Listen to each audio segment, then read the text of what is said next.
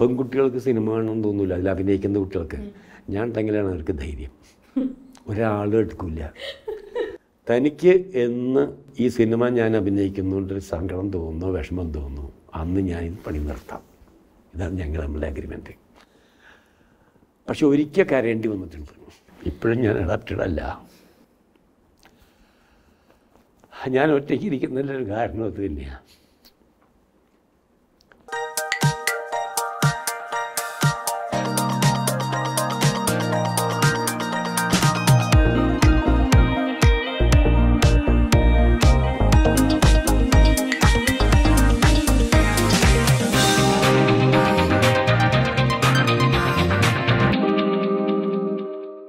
Back സ്റ്റോറിയിൽ ഇന്ന് നമുക്കൊപ്പം Shri T G Ravi.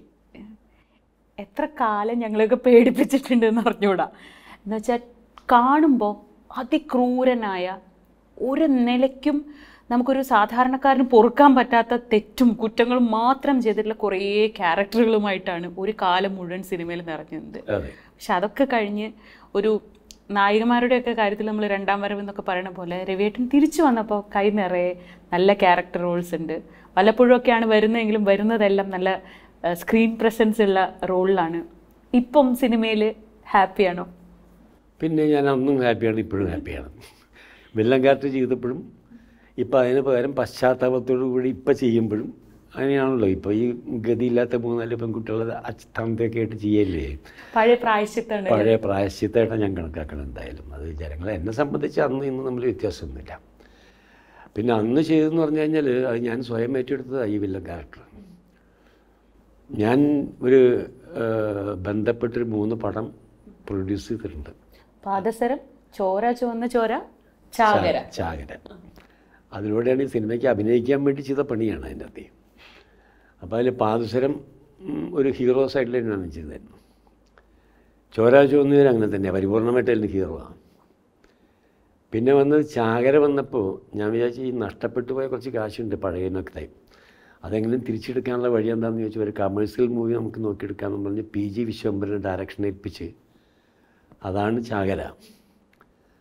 അത് സോമൻ സുകുമാരൻ ശ്രീവിദ്യ എല്ലാവരും കൂടി എടുത്തു കഴിഞ്ഞ് കഴിഞ്ഞപ്പോൾ എനിക്ക് അഭിനയിക്കാൻ വേറെ ക്യാരക്ടറൊന്നും ഇല്ല. അപ്പോൾ വില്ലൻ ക്യാരക്ടറേ ഉള്ളൂ.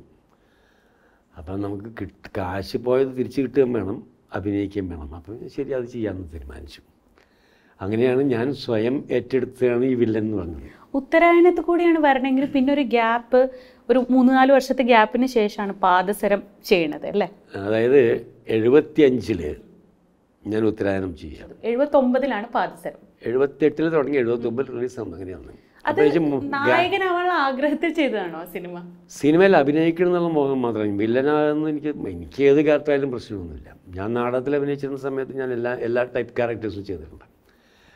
അവിടെ വന്നപ്പം പൊതുവെ എന്താണെന്ന് വെച്ചാൽ പലരും എന്നെ അന്നത്തെ ഈ എഞ്ചിനീയറിംഗ് കോളേജൊക്കെ പഠിക്കുമ്പോൾ പെൺകുട്ടികൾ പറയുന്നത് വില്ലൻ ലുക്ക് ഉണ്ടെന്ന് പറയാം. അത് ഞാൻ ഉപയോഗിച്ചു മാത്രമേ ഉള്ളൂ അകത്ത് അതിലൊരു മനോഹരമായ പാട്ട് പാടി അഭിനയിക്കുകയും ചെയ്തിട്ടുണ്ട് ഉഷസേ നീ എന്റെ- എന്നെ ഉണർത്തുകയില്ലേ? അസൽ പാട്ടാണ്. എ പി ഗോപാലൻ എഴുതിയ പാട്ടാണ് അതിനകത്ത്.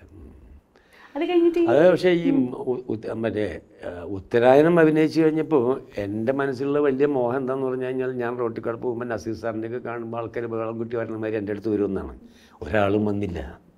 കാരണം ഉത്തരായനം അവാർഡ് സിനിമ എന്ന് പറയുന്ന വകുപ്പിൽ പെട്ട സിനിമയായിരുന്നു അന്ന്. അപ്പോൾ അതുകൊണ്ട് ഈ സാധാരണ ഒരു കമേഴ്ഷ്യൽ മൂവി അല്ലാത്തതുകൊണ്ട് കണ്ട ആൾക്കാർ വളരെ ചുരുക്കമാണ് അതിന്റെ വാശിക്കാണ് പിന്നെ ചോരാ പേരെടുത്തത് അതിൽ ശ്മശാനം സൂക്ഷിപ്പിക്കുക ശ്മശാനം. അത് രണ്ടും നല്ല സിനിമയായിരുന്നു എന്റെ അഭിപ്രായം. ഇപ്പോഴും ഞാൻ പറയാം നല്ലൊരു സിനിമയാണ് പാദസരം എന്നുള്ളതാണ്. പക്ഷേ കമേഴ്ഷ്യലായിട്ട് ബ്ലാക്ക് ആൻഡ് വൈറ്റ് ആയിരുന്നു. ശോഭയൊക്കെയുള്ള സിനിമ. ശോഭയുള്ള സിനിമ.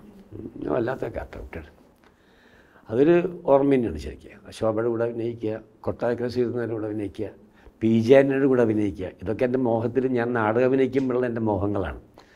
ആ മോഹം ആ സിനിമയിൽ തീർന്നു എന്നുള്ളതാണ് എന്റെ. പക്ഷേ ആ പടം ഓടിയില്ല. ബ്ലാക്ക് ആൻഡ് വൈറ്റ് അതിന്റെ ഒരു പ്രധാന കാരണം എന്ന് പറഞ്ഞു കഴിഞ്ഞാൽ അതിന്റെ റിലീസിന് ഒരു ചെറിയ കൺഫ്യൂഷൻ ഉണ്ട് എന്നാണ് ഞാൻ വിശ്വസിക്കുന്നത്. എം ടി വാസുദേവൻ നായരുടെ ബന്ധനത്തിന് ഓപ്പോസിറ്റാണ് ഈ പടം കൊണ്ടിട്ടത്. അപ്പോൾ കുറച്ച് വ്യത്യസ്തമായൊരു സിനിമ കാണാൻ മോഹിക്കുന്ന ആൾക്കാർ മുഴുവൻ ബന്ധനത്തിന് എം ടിയുടെ പടത്തിന് കയറും. ഇതിന് ഇതിന് പിന്നെ വെക്കുള്ളൂ. അപ്പോഴേക്കും പടം ഹോൾഡ് ഓവറായി തിയേറ്റർ മാറ്റി. അങ്ങനെയാണ് ഈ പാദസ്ഥിരത്തിന് പറ്റിയത്. അപ്പോൾ അത് കാശ് പോയത് തിരിച്ചെടുക്കുക എന്നുള്ളൊരു വാശി വന്നപ്പോഴാണ് ചാകരി എടുക്കാൻ തീരുമാനിച്ചത് പിന്നെ അതിൽ പ്രിൻസിപ്പളൊന്നും നോക്കിയില്ല. മറ്റേന്റെ അകത്ത് ഈ മറ്റേ അതിനെ ഇൻട്രൊഡ്യൂസ് ചെയ്യുമ്പോൾ തന്നെ ഞാൻ കൊച്ചിൻ ദേവസ്വം ബോർഡ് പ്രസിഡന്റായ സമയത്ത് അന്ന് എന്നോട് ചോദിച്ച ചോദ്യം ഈ ഈ പാദസരത്തിന്റെ ഒരു ക്ലിപ്പിംഗ് കിട്ടുന്നു എന്റെ അകത്ത്. എന്താ വെച്ചാൽ എന്നെ ഇൻട്രൊഡ്യൂസ് ചെയ്യുന്നത് ഒരു ബോർഡ് വന്ന് വീഴും. അതിന്റെ മേലെ എഴുതിയിട്ടുള്ള അഹിന്ദുക്കൾക്ക് പ്രവേശനമില്ല എന്നാണ്. അതിന്റെ മേലൊരു ചവിട്ട് കാൽ വരും അതിന്ന് മേലോട്ട് ക്യാമറ വരുമ്പോഴാണ് ഞാൻ നിൽക്കുന്നത്. അങ്ങനെയാണ് എന്നെ ഇൻട്രൊഡ്യൂസ് ചെയ്തത്. അപ്പോൾ അത് എന്റെ ഒരു മോഹവും അതല്ലെങ്കിൽ എന്റെ ഒരു പ്രിൻസിപ്പിൾ വരുന്നത് എന്റെ അത്. ആ പ്രിൻസിപ്പിൾ ഇപ്പോഴും ഉണ്ടെന്നാണ് എന്റെ ചോദ്യം തരുന്നത് അന്ന കാലത്ത്. എന്നെ വട്ടം തിരിക്കാൻ വേണ്ടിയിട്ടുള്ള ചോദ്യങ്ങളാണ്. ചോദിച്ചത് അത് ഞാൻ പറയണപ്പോൾ അതെന്റെ മനസ്സിലുണ്ടായിരുന്നു. ആ ചില പ്രിൻസിപ്പിൾസ് കൊണ്ടുവരാൻ വേണ്ടി ഞാൻ ശ്രമിച്ച സിനിമയായിരുന്നു അത്. നടന്നില്ല. ചോരാചോന്ന് വരാൻ പിന്നെ കളറാണ്. കുറച്ചും കൂടെ കമേഴ്സിലാക്കാൻ ഞങ്ങൾ തന്നെ തീരുമാനിച്ചു. ജി ഗോപാലകൃഷ്ണനാണ് എന്റെ കഥ. അങ്ങേരെ ഞാൻ ഡയറക്റ്റ് ചെയ്തത്. ഞാൻ അഭിനയിച്ചു. നല്ല ഒരു ജാതി വിഗ്ഗൊക്കെ വെച്ചിട്ട് അഭിനയിച്ചു.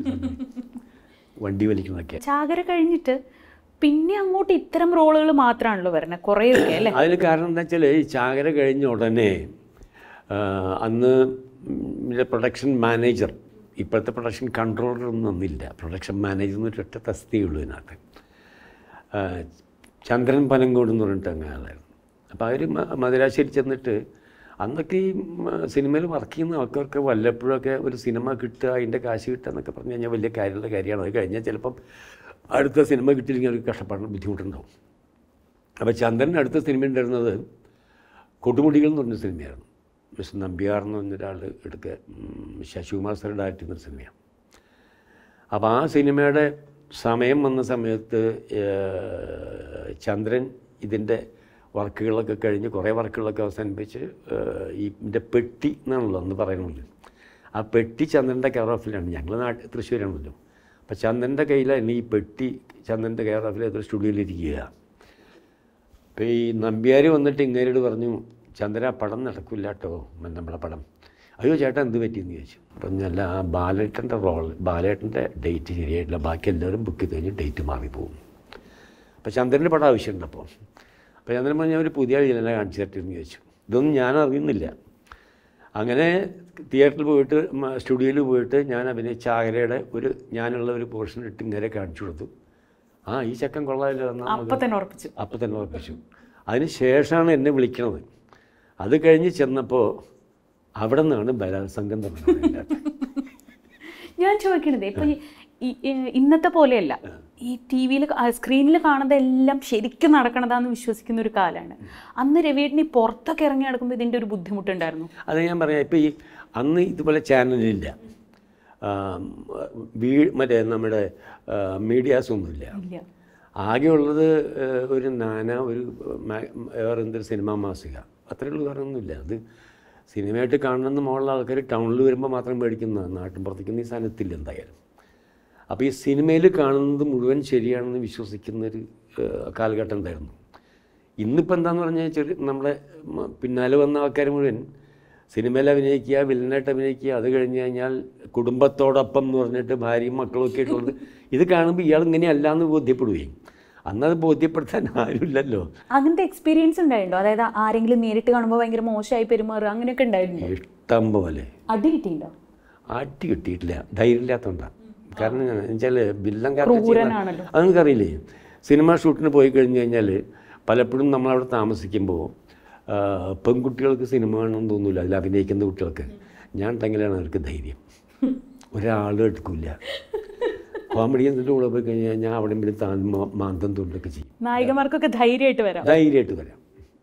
അങ്ങനെയാണ് അന്നത്തെ സ്ഥിതി. കാരണം വെച്ചാൽ അത് പൊതുവേ ഇയാൾ ശരിയല്ല എന്നൊരു തോന്നലുണ്ടല്ലോ.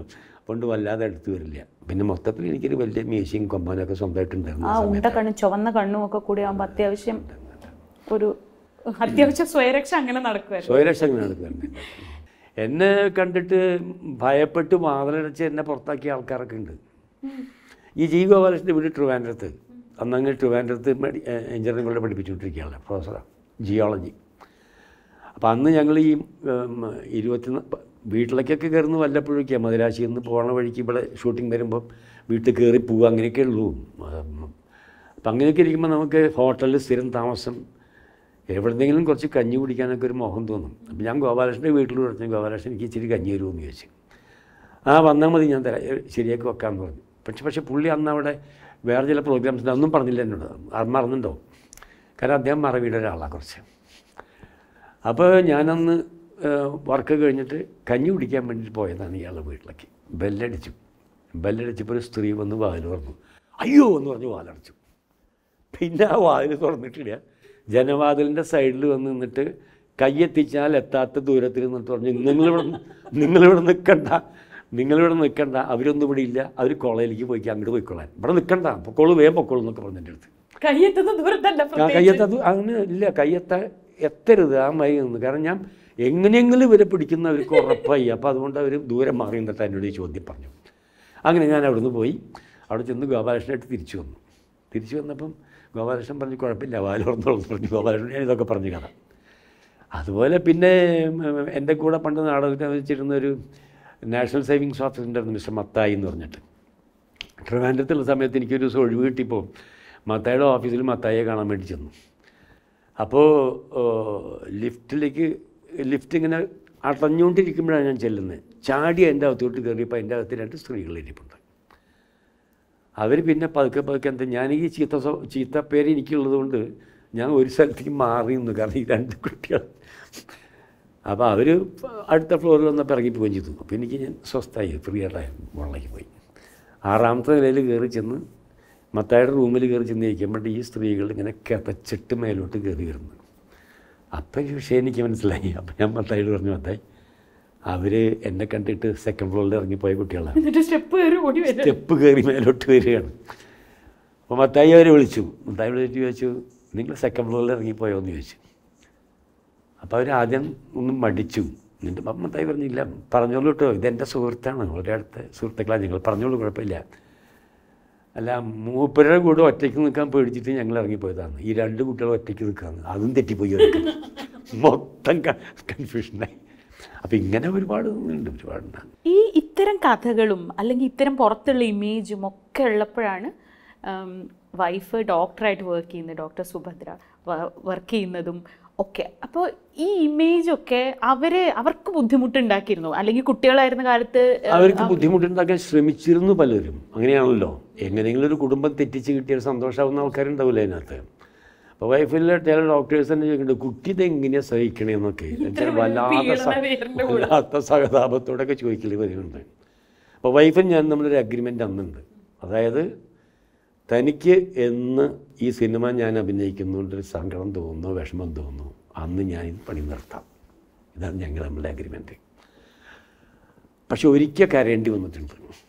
കാരണം ഒരു സിനിമ ഇറങ്ങിയിട്ട് ആ സിനിമ കാണാൻ വേണ്ടി ഞങ്ങൾ കുന്നംകുളത്ത് പോയി. തൃശ്ശൂരിലുണ്ടായിരുന്നില്ല കുന്നംകുളത്ത് പോയിട്ടപ്പോൾ അതിൽ കുറേ ബിറ്റ് കിടക്കുന്നു വേറെ ഏതൊക്കെ ബിറ്റ് അതിന്റെ അകത്ത് എന്റെ എനിക്ക് എന്റെ വേഷം ഞാൻ ചെയ്തപ്പോൾ ഒരു ഡയറക്ടർ അതിന്റെ ഇടയിൽ കുറച്ച് ബിറ്റ് ഒരു ഒരു ഒരു ബെഡ്ഷീറ്റ് പൊതിഞ്ഞു കൊണ്ടുപോയെന്ന് ഞാൻ പിന്നീട് മനസ്സിലാക്കിയത്. ആ ബെഡ്ഷീറ്റ് കൊണ്ടുപോയി മധുരാശിയിലിട്ടിട്ട് വേറെ ആൾക്കാരെ വെച്ചിട്ട് എന്തൊക്കെ ചെയ്തു എന്നുള്ളതാണ് കഥ. അന്ന് കരഞ്ഞു. ഇറങ്ങിപ്പോന്നു പക്ഷേ അയാളെ ഞാൻ ഒന്ന് കൊടുക്കുകയും ചെയ്തു കേട്ടോ. അങ്ങനെ സ്വഭാവം എന്റെ കയ്യിലുണ്ട്. അത്യാവശ്യം വന്നാൽ എനിക്ക് അങ്ങനെ വല്ലാതെ വരുമ്പോൾ എന്റെ വൈഫിനെ വേദനിപ്പിച്ച് ഞാൻ സഹിക്കില്ല. നിങ്ങൾ എത്ര വയസ്സിലാണ് കാണുന്നത് നിങ്ങൾ രണ്ടാളും? എവിടുന്ന് കേട്ടിട്ടുണ്ട് ചെറുതായിട്ട്. വൈഫിന് പന്ത്രണ്ട് വയസ്സ്. വൈഫ് അവരെ സ്വന്തമായിട്ടൊരു സ്കൂളൊക്കെ ഉണ്ടായിരുന്നു. പഠിക്കാൻ പഠിക്കുകയായിരുന്നു നാലര വയസ്സിൽ നാലാം ക്ലാസ്സിൽ കൊണ്ട് ചേർത്തു.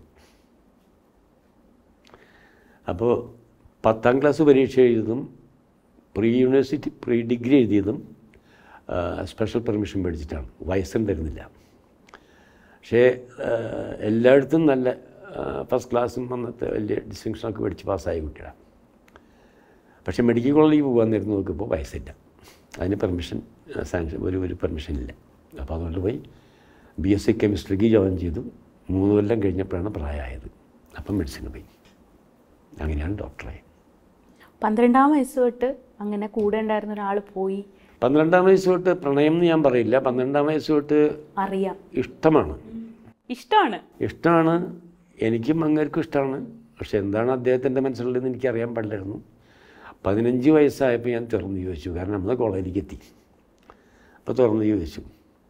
ഇതെന്താ നേരത്തെ ചോദിക്കാത്തതെന്നാണ് ഞാൻ വിചാരിച്ചതെന്ന് പറഞ്ഞു അതുവരെ പേടിച്ചു. കാരണം ചോദിക്കുമ്പം ഏയ് എന്റെ മനസ്സിലൊന്നും ഇല്ല എന്ന് പറഞ്ഞു കഴിഞ്ഞാൽ കുടുങ്ങിപ്പോയില്ലേ? പിന്നെ കഷ്ടപ്പാടവും. അതുകൊണ്ട് ചോദിക്കാൻ പഠിച്ച് പഠിച്ചാൽ ചോദിച്ചു. പിന്നെ അവിടെ നിന്ന് അങ്ങ് പോയി. പിന്നെ പ്രണയമായി കോഴിക്കോട് മെഡിക്കൽ കോളേജിലപ്പോൾ കോഴിക്കോട് പോകും കാണാറുണ്ട്.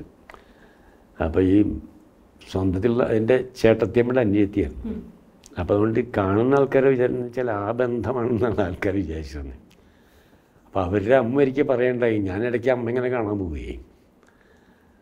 കല്യാണം കഴിഞ്ഞ ആദ്യത്തെ ഫസ്റ്റ് നൈറ്റ് അവിടെയാണല്ലോ. അപ്പോൾ അവിടെ ചെന്നപ്പോൾ അമ്മ പറയായിരുന്നു രവി എന്നെ ഇങ്ങനെ ഇടയ്ക്ക് കാണാൻ പറ്റുന്നത് എന്നെ കാണാനോന്ന് ഞാൻ വിചാരിച്ചേ. പിന്നെ ഇപ്പം ഈ അടുത്താ മനസ്സിലായി.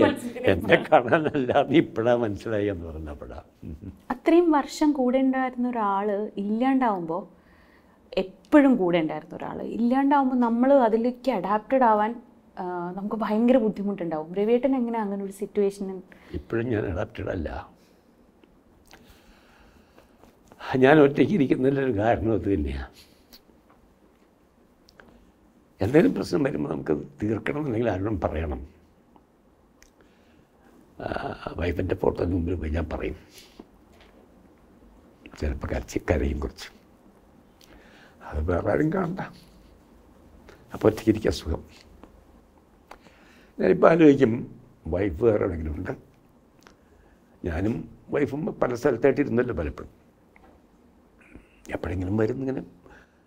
വെറുതെ ആണെങ്കിലും വെറുതെ മോഹിക്കാനൊരു മോഹമുണ്ടല്ലോ അങ്ങനെ മോഹിക്കും ചിലപ്പോൾ ഇപ്പോൾ ഇതിന്റെ ഇടയിലൊക്കെ ഭയങ്കര ബിസി ആയിട്ടുള്ള ലൈഫ് ഉണ്ടായിട്ടുണ്ട്. ഇപ്പം എന്താ പറയുക ബിസിനസ്സിൽ ഉണ്ടായിട്ടുണ്ട്. ബോട്ട്സ്വാനയിൽ ഒരു പത്ത് കൊല്ലം പോയപ്പോൾ ഞാൻ കേട്ട കാലത്തൊക്കെ ഞാൻ വിചാരിച്ചിട്ടുണ്ട് അവിടെ പോയി ഒരു റിട്ടയർമെന്റ് ലൈഫ് പോലെ ഫ്രീ ആയിട്ട് ലൈഫ് എന്നോട് ചോദിച്ചു പല ആൾക്കാരും. ബെഡ്സോനെ ഇപ്പോൾ ചോദിച്ചു. ഞാൻ പറഞ്ഞു ഇവിടെ ഇരുന്ന് ഞാൻ സൗന്ദര്യം പോരാ തോന്നി. അവിടെ പോയി കഴിഞ്ഞാൽ ഞാൻ വലിയ മോശമില്ല ഞാൻ എനിക്ക് ബോധ്യമായതുകൊണ്ട് ഞാൻ അവിടെ പോയതാന്ന് പറഞ്ഞു. അങ്ങനെ പറയാറ് സാധാരണ. ഭയങ്കര കരിയറിന്റെ ഒരു പീക്കിൽ നിൽക്കുന്ന സമയത്താണ് എന്നിട്ടൊരു ബ്രേക്ക് എടുത്ത് ഇതിന്നൊക്കെ. അതോ ആ സമയത്ത് സിനിമകൾ കുറഞ്ഞിട്ടുണ്ടായിരുന്നു? ഇല്ല നല്ല തിരക്കുള്ള സമയമായിരുന്നു. നല്ല തിരക്കുള്ള സമയം അപ്പം എന്താ അങ്ങനെ പെട്ടെന്ന് അങ്ങനെ ഒരു കംപ്ലീറ്റ്ലി ഒരു ബ്രേക്ക് എടുക്കാം? കാരണം സിനിമ നമ്മളെ ഒരു ഹരം പിടിപ്പിക്കുന്ന ഒരു സാധനം ആ ഹരം പിടിച്ചു കഴിഞ്ഞാൽ നമുക്കത് വിട്ടുപോകാൻ വലിയ ബുദ്ധിമുട്ടുമായിരിക്കും. എന്നിട്ടും അങ്ങനെ ഒരു ബ്രേക്ക് സഡൻ ബ്രേക്ക് പോലെ എടുത്തിട്ട് എന്റെ ഒപ്പം തന്നെ ഒരു ഇൻഡസ്ട്രി ഉണ്ട്. ആ ഇൻഡസ്ട്രി നടക്കുന്നതിനിടയ്ക്കാണ് ഒരു വലിയ റെയ്ഡ് വന്നു. സെൻട്രൽ എക്സൈസ് റെയ്ഡ് വന്നു. അതായത് ഇവിടെയുള്ള വലിയ കുത്തക മുതലാളിമാരുടെ കമ്പനികളുണ്ട് റബ്ബർ ബേസ് ഇൻഡസ്ട്രീസ് ചെറുകിട ഫാക്ടറിക്കാർക്ക് കൊടുക്കുന്ന സൗകര്യങ്ങൾ അവർക്കില്ല. അതില്ലാതെ ഇപ്പോൾ ഈ പ്രോഡക്റ്റിന് ചെറുകിടയിലും ഉണ്ടാക്കാൻ കഴിയുന്നതായതുകൊണ്ട് അവരെ മാർക്കറ്റുകൾ പോകാൻ തുടങ്ങിയപ്പോൾ അവരുടേതായിട്ടുള്ള ശക്തി അവർ പ്രയോഗിച്ചിട്ടുണ്ട് ഇതിന്റെ അകത്ത് അങ്ങനെ കേരളത്തിൽ മുഴുവൻ ഈ ചെറുകിട റബ്ബർ ഫാക്ടറികളിൽ മുഴുവൻ വലിയ റെയ്ഡ് ഉണ്ടായി. പക്ഷെ അതിൽ പ്രമാണി ഞാനായിരുന്നു. ഒരു കോടി മുപ്പത്താറ് ലക്ഷം രൂപയോളം വെട്ടിച്ചു എന്നുള്ള കേസ് മനോരമയിലൊക്കെ വന്നു പേപ്പറിലൊക്കെ വന്നു ഗംഭീരമായിട്ട്.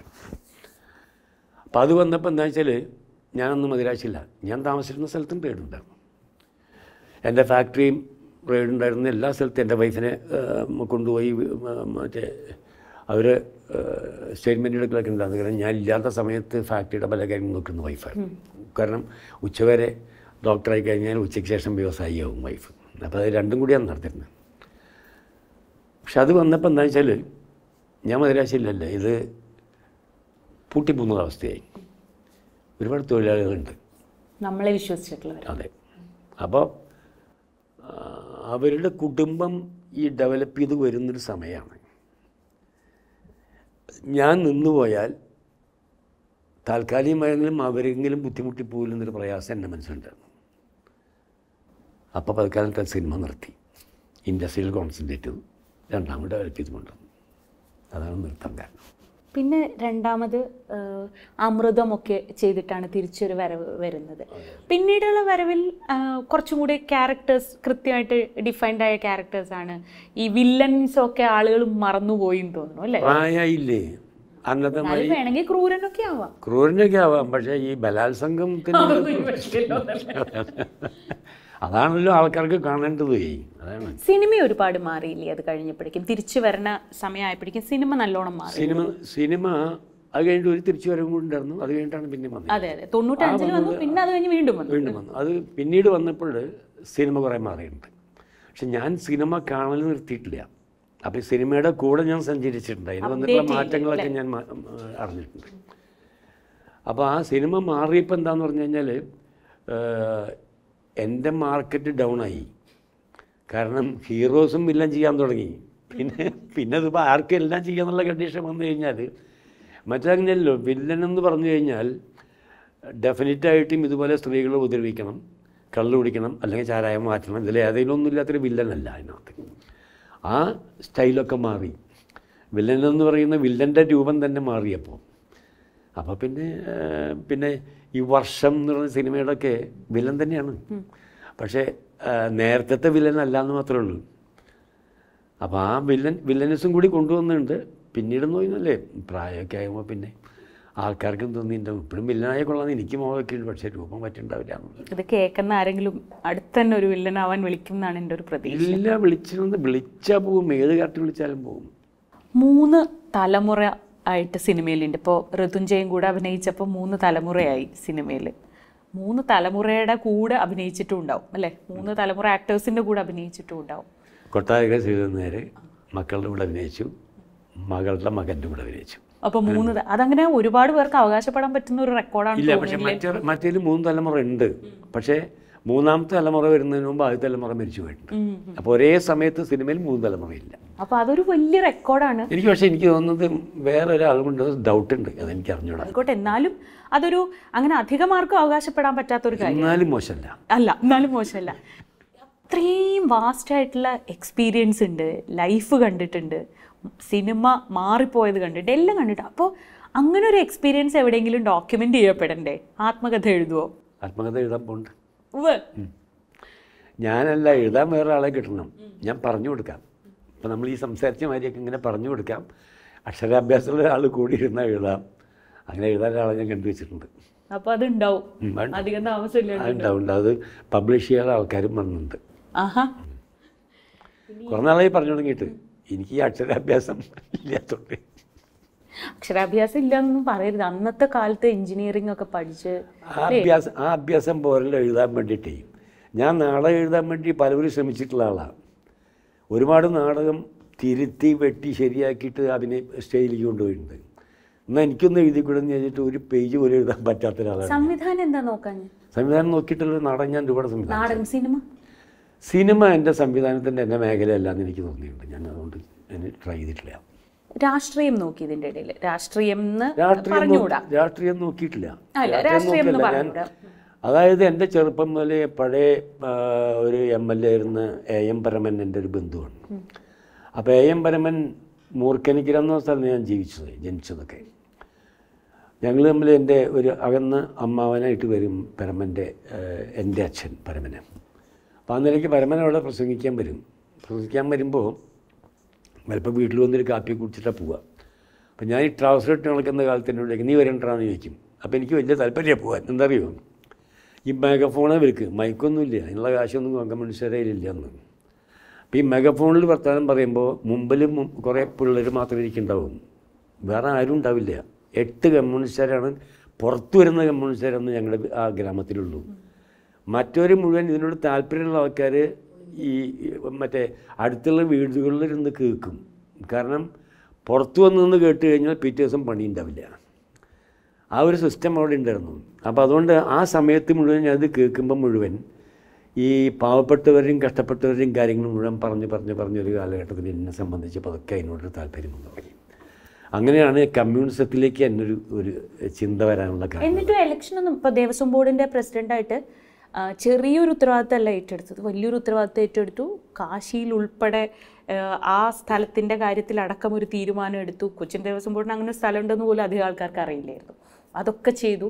അപ്പോൾ അത്രയും എഫക്റ്റീവായൊരു ടെന്യൂർ കംപ്ലീറ്റ് ചെയ്തിട്ട് പിന്നെ എന്താ ഒരു ആക്റ്റീവ് പൊളിറ്റിക്സ് നോക്കാതിരുന്നത് മുമ്പേ തന്നെ എന്നെ സംബന്ധിച്ചിടത്തോളം ആക്റ്റീവ് പൊളിറ്റിക്സ് എനിക്കിഷ്ടമല്ല വേറെ ഒന്നുണ്ടല്ല ഞാൻ ഈ ഫാക്ടറി തുടങ്ങുമ്പോൾ തന്നെ എന്റെ മനസ്സിലുള്ള ഉദ്ദേശം എന്താണെന്ന് പറഞ്ഞാൽ തൊഴിലില്ലാത്ത പത്ത് പേർക്ക് തൊഴിൽ കൊടുക്കുക എന്നുള്ളതാണ് അതായിരുന്നു എന്റെ മനസ്സിലുള്ള ഏറ്റവും വലിയ പ്രധാനപ്പെട്ട ഉദ്ദേശം അത് തന്നെയാണ്. അത് ഞാൻ സാധിച്ചു. പിന്നെ അവിടെ നിന്ന് തന്നെ എനിക്ക് തല്ലും കിട്ടി. അത് വേറെ കാര്യം. അത് പോട്ടെ. പക്ഷേ ആക്റ്റീവ് പൊളിറ്റിക്സിൽ വരാൻ വേണ്ടി കാരണങ്ങളുണ്ടായിരുന്നു എന്നെ വിളിച്ചിട്ടുണ്ട്. എനിക്ക് എന്നെ ക്ഷണിച്ചിട്ടുണ്ട്. ഒല്ലൂർ നിയോജക മണ്ഡലത്തിൽ ഇലക്ഷൻ നിൽക്കാൻ വേണ്ടി എനിക്ക് ക്ഷണം വന്നിട്ടുണ്ട്. തൃശ്ശൂർ നിൽക്കാൻ വേണ്ടി ക്ഷണം വന്നിട്ടുണ്ട്. മാമകുട്ടിയേട്ടൻ അവിടെ സെക്രട്ടറി ആയിരിക്കുന്ന കാലത്ത്. അതിന് കാരണം എന്താ വെച്ചാൽ അടിയന്തരാവസ്ഥക്കാലത്തെ ചില ആൾക്കാരെ അങ്ങോട്ടും കൂടെ മാറ്റാൻ വേണ്ടിയിട്ടുള്ള ശ്രമം ഞാൻ ചെയ്തിരുന്നു എന്നുള്ളതിന്റെ അകത്ത്. അന്ന് ചെയ്യണമെങ്കിൽ പക്കാ ഇടതുപക്ഷക്കാരനാണെന്ന് ബോധ്യമുണ്ടെന്നുണ്ടെങ്കിൽ പോലീസിന്റെ കണ്ണിൽ പെടുന്നത് അപ്പം ആ സമയത്ത് അതല്ലാതെ ഉള്ള ആൾക്കാരെ ആ ഇമേജില്ലാത്ത ആൾക്കാരെ ആയിരിക്കും ഒരു വശത്ത് നിന്ന് രാത്രി വേറെ സ്ഥലത്തേക്ക് മാറ്റുക. അങ്ങനെ ചില ചുമതല എനിക്കുള്ളതുകൊണ്ട് ഇയാളെ അടിയുറച്ചതിൽ വിശ്വസിക്കുന്ന ഒരാളാണെന്ന് പാർട്ടിക്ക് അന്ന് ബോധ്യം വന്നുകൊണ്ട് എന്നെ വന്ന് ഇലക്ഷൻ നിൽക്കാൻ രണ്ട് തവണ വിളിച്ചു. രണ്ടാം വിളിച്ചപ്പോഴും ഞാൻ പറഞ്ഞു ഞാനില്ല. ആക്റ്റീവ് പൊളിറ്റിക്സ് എനിക്ക് താല്പര്യമേ ഇല്ല എന്ന് പറഞ്ഞിട്ട് മൂന്നാമത്തെ തവണ നിന്ന് വിളിച്ച് ഇപ്പോഴും മാറ്റിയിട്ടില്ലോ എന്ന് ചോദിച്ചു ഞാൻ പറഞ്ഞു മാറ്റിയിട്ടില്ല മാറിയിട്ടില്ല എന്ന് പറഞ്ഞു. അങ്ങനെയാണ് എന്നോടൊന്ന് സംസാരിച്ചു. എന്നോട് സംസാരിച്ചു അപ്പം പിന്നെ പറഞ്ഞു എന്റെ ഒരു ബ്രദറിലോ എന്റെ ഒരു കോ ബ്രദർ എന്റെ വൈഫിന്റെ ചേച്ചിയാണ് ബ്രദർ ആ ഹസ്ബൻഡ്. അവർക്ക് ഇലക്ഷനിൽ നിൽക്കാൻ താല്പര്യമുണ്ടോ എന്ന് അറിഞ്ഞു തരാൻ പറഞ്ഞു. യെസ് എന്ന് പറഞ്ഞു. അറിഞ്ഞു കൊടുത്തു അങ്ങനെ ഇലക്ഷൻ. അത് ദേവസ്വം ബോർഡിൽ പോയപ്പോഴും എനിക്ക് ബോധ്യപ്പെട്ട അവസ്ഥ എന്താ വെച്ചാൽ വളരെ അടുത്തുകൂടാന്ന് തോന്നി എനിക്ക് കാരണം എനിക്ക് അത് പറ്റില്ല. എനിക്ക് ഇൻഡിപെൻഡന്റ് ആയിട്ട് നിൽക്കാവുന്ന ഒരു അവസ്ഥ ഉണ്ടാവണം. അത് വിട്ടിട്ട് നിൽക്കുക എന്ന് പറഞ്ഞു കഴിഞ്ഞാൽ കുറച്ച് ബുദ്ധിമുട്ട് തോന്നി. അപ്പോൾ പിന്നെ എനിക്ക് എന്റെ വിശ്വാസങ്ങളൊക്കെ ആയിട്ട് അതിന്റെ കൂടെ പോയാൽ മതി എന്ന് വിചാരിച്ചു നമുക്ക് സിനിമയിലേക്ക് തന്നെ തിരിച്ചു വന്നാൽ ഇനിയിപ്പോൾ വരാനുള്ളതൊക്കെ അത്യാവശ്യം നല്ല സിനിമകളാണ്. കിങ് ഓഫ് കൊത്ത വരാനുണ്ട്. പിന്നെ ജലധാര പമ്പ് പംസെറ്റ് വരാണ്ട്. ജലധാര പമ്പ് സെറ്റ് നല്ല സിനിമയാവാൻ ചാൻസ് ഉണ്ട്. നല്ല രസമുണ്ട്. ഇനിയിപ്പോൾ ഏറ്റവും അടുത്ത് ഈ ഭഗവാൻ രാമ ഭഗവാൻ ദാസന്റെ രാമരാജ്യം. ആ. ആ സിനിമ വരാൻ അല്ല വലിയ രസം തറിയോ അത് സിനിമയിൽ വന്നതിന് ശേഷം ആദ്യം കിട്ടുന്നൊരു ഭാഗ്യമാണ് ഈ ഭഗവാൻ ദാസിന്റെ രാമരായ എന്ന് പറഞ്ഞ സിനിമ ടൈറ്റിൽ ക്യാരക്ടർ ഞാനാണ്. അതായത് ഭഗവാൻ ദാസ് ഞാനാണെന്നർത്ഥം ഓ അത് ശരി. ആ. പക്ഷേ ഹീറോ എന്നൊന്നും പറയണ്ട അത് വേണ്ട ടൈറ്റിൽ എന്താണോ ടൈറ്റിൽ ക്യാരക്ടർ ഞാൻ. അത് പറയണം. നമ്മൾ ടൈറ്റിൽ ക്യാരക്ടർ എന്ന് പറഞ്ഞാൽ മതി. ബാക്കിയൊക്കെ പിന്നെയാണ്. നല്ല രസമുള്ള സിനിമ എനിക്ക് തോന്നി എനിക്ക് അന്ന് എനിക്ക് ഇഷ്ടമായ സിനിമയാണ് എന്താ വെച്ചാൽ പഴയ കാലത്തെ നാട്ടിൻപുറത്തിലുള്ള ചില ഈ ബാലെ നിന്നുപോയൊരു ബാലെ. ആ ബാലെ നടത്തിയിരുന്ന ഒരാളുടെ മരണശേഷം. ആ ബാലെ രണ്ടാമത് അങ്ങേരുടെ ഓർമ്മയ്ക്ക് വേണ്ടി രണ്ടാമത് അവതരിപ്പിക്കേണ്ട ഒരു കണ്ടീഷൻ വരുന്നതാണ് അവിടെ വന്നപ്പോൾ അങ്ങേരുടെ മകൻ അതിന്റെ അകത്ത് അതായത് പ്രശാന്ത് മുരളിയാണ് അത് അഭിനയിക്കുന്നത് മകനായിട്ട്. പക്ഷേ ഞങ്ങളെന്ന് പറഞ്ഞത് ഈ നാടകം സെറ്റ് ചെയ്യുന്ന ആൾക്കാരെന്ന് പറയുന്നത് ആ ഗ്രൂ ഒരു ഗ്രൂപ്പായിട്ടാണ്. ഞാനുണ്ട് ഇർഷാദ് ഉണ്ട് നമ്മുടെ പട്ടാമ്പി മണിയണ്ടനുണ്ട് മണിയണ്ടനുണ്ട് അപ്പം ഞങ്ങൾ മൂന്നും കൂടെയാണ്. പക്ഷേ ഇവരുടെ മൂന്ന് പേരിലത് നറക്കിട്ട് ഭാഗ്യം കിട്ടിയത് എനിക്ക് ഭഗവാൻ ദാസ് എന്ന ക്യാരക്ടറാണ് അതുകൊണ്ട് ടൈറ്റിൽ ക്യാരക്ടർ എന്റെയാണ്. അപ്പം എന്തായാലും ഇനി അങ്ങോട്ട് വരാനുള്ള എല്ലാ ക്യാരക്ടേഴ്സും ഇതുപോലെ സന്തോഷം തരുന്നതാവട്ടെ. ഓർമ്മകൾ അറിയാം. എത്രത്തോളം കരുത്ത് പകരുന്ന ഓർമ്മകളാണ് കൂടെ ഉള്ളതെന്ന് അറിയാം. അപ്പം അതുകൊണ്ട് സന്തോഷമായിട്ട് ആരോഗ്യത്തോടെ ഇരിക്കാൻ പറ്റട്ടെ. വലിയ സന്തോഷം. ഇത്രയും കഥകൾ നേരിട്ട് കേൾക്കാൻ പറ്റിയതിൽ വലിയ സന്തോഷം. Thank you thank you